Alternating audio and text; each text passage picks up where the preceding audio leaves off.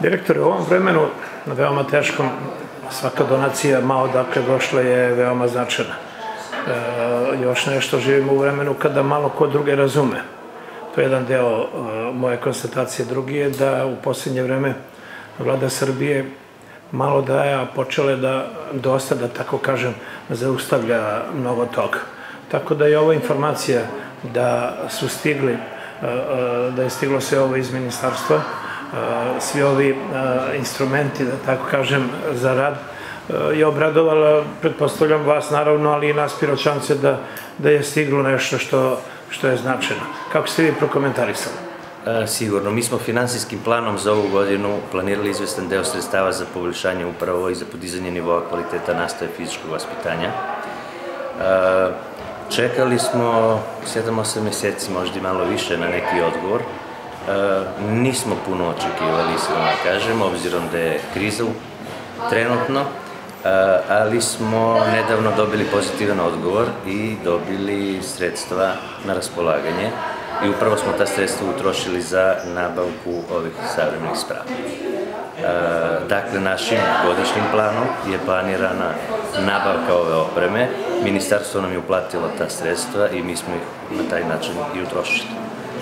Imali smo unazad da to je, ja mislim, generalno trend nekako kod mladih da, da sve manje rade fizičko, da nešto nisu zainteresovani za čas fizičkog i da, da jednostavno oni s tog časa možda negde odu, prošetaju.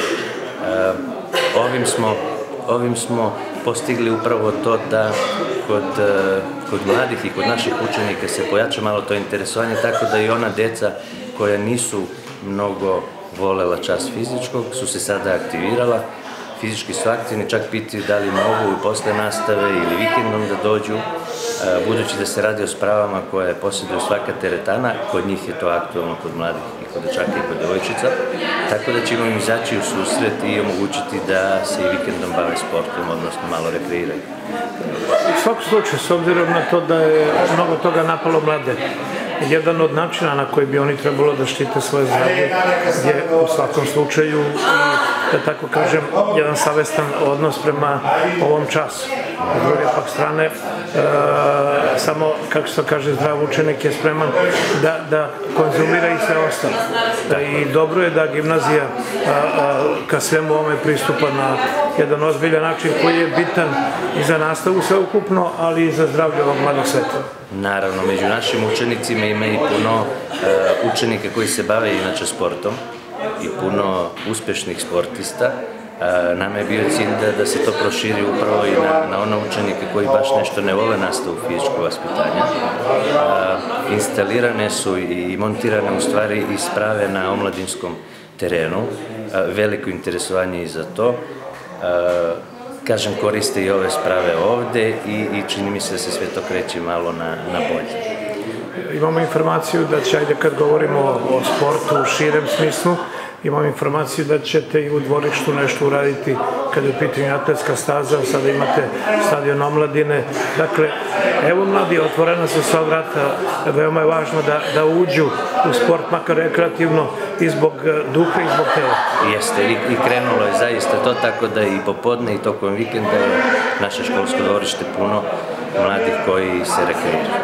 E sad, e, za, za pomoć se uvek ne pita koliko šta, ali vi ste napravili zahtev i oni su vam odobrili sredstva, a vi ste se odlučili šta ćete nabaviti. Da, i mi smo odlučili da upravo uzemo uh, ove sprave koje su, ponavljam, prilično popularne kod mladih. U pitanju je gladijator, bench klupa, steper, uh, traka za trčanje, suvo veslo. Uh, imamo još jedan novi sto za stoni tenis, tako da da sve radi puno para. Investicija je ukupna?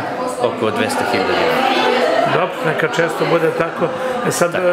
E, samo još ovo da vas pitam, da izađemo iz ovih okvira. Šta je ono što bi vi kao direktor želeli da gimnazija dosta čini na opremanju na tom tehnološkom delu. Da. Šta je to što vam u ovom trenutku nedostaje, a što bi trebalo a, obezbediti, pa sad neko čuo, pa će možda setiti da, da donira? Najurgentnije nam je fasada.